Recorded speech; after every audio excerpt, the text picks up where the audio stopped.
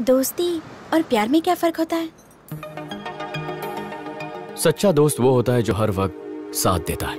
पर जब किसी के बिना जी नहीं सकते वो हमारा प्यार होता है।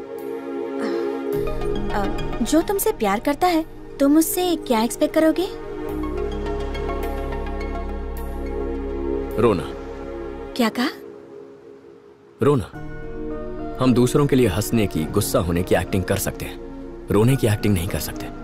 अगर कोई हमारे लिए रो रहा है तो वो दुनिया में सबसे ज़्यादा बस हमसे ही प्यार करता है। क्या तुम कभी किसी के लिए रोए हो? आज तक मौका ही नहीं मिला। डोंट वरी बहुत जल्दी मौका मिलेगा।